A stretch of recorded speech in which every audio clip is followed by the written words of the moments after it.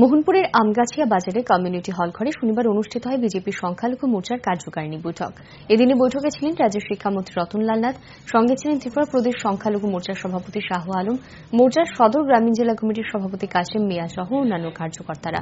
দুই হাজার তেইশ বিধানসভা নির্বাচনের আগে ভারতীয় জনতা পার্টিকে আরও শক্তিশালী করার লক্ষ্যে কার্যকর্তাদের নিয়ে আয়োজিত হয় এদিনের কার্যকারিণী বৈঠক।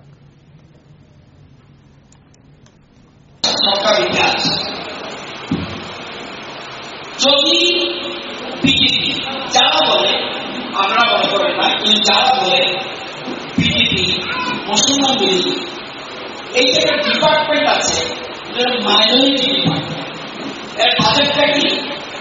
সিপিএম এর একটা ক্ষমতা ছিল। এক বছরে কত বাজেট সত্তর কোটি। আমরা সরকারে কত বললাম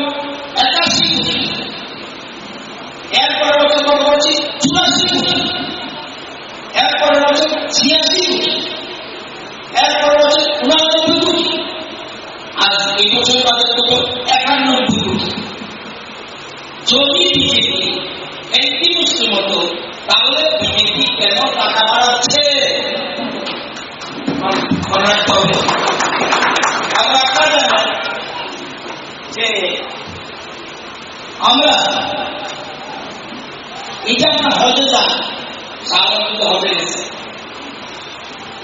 হজে যান মাঝখানে দুই বছর করোনার কারণে হজে আমরা নাই। বিজেপি সরকার গণনা পরে প্রথম কতজন পাঠিয়েছে হজে? একশো পঞ্চাশ। উনিশ কোটিতে একশো ছয় জন এবং এই বছর করোনা শাসনিক তারপরেও আমরা পাঠিয়েছি। এবং এই জন্য আমাদের লাখ লাখ টাকা। আমরা ভাড়া দিই না, কিন্তু অন্যান্য সাপোর্ট ফুল যাতে যাদের এই যে পার্টি সবার ধর্ম যাচ্ছে এবং এটা হজে পালনের জন্য সরকার প্রয়োজনীয় ব্যবস্থা গ্রহণ করে।